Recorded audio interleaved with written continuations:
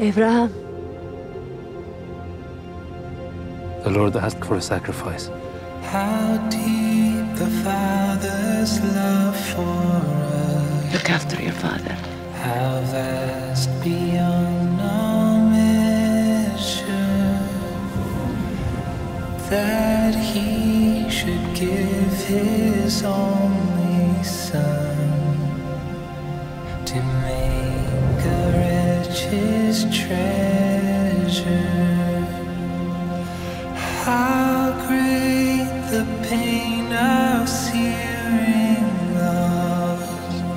The Father turns his face away as wounds which mar the chosen